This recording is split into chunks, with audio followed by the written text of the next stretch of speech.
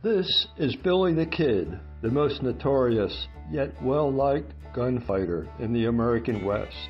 Born Henry McCarty in New York City, he moved many times before landing in the New Mexico Southwest. He found himself in the middle of the Lincoln County War when his friend and boss, John Tunstall, was murdered by the Murphy faction, who wanted to control the lucrative government contract supplying the army posts and Indian reservations in the area. My painting of Billy is a mirror image and a reversal as in the original tintype photo.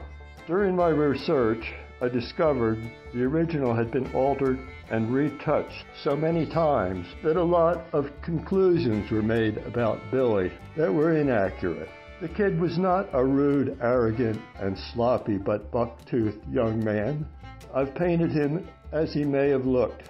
And in the corners, we have Ned Buntline, the dime novelist, New Mexico Governor Lew Wallace, who posted a $5,000 reward for Billy, dead or alive.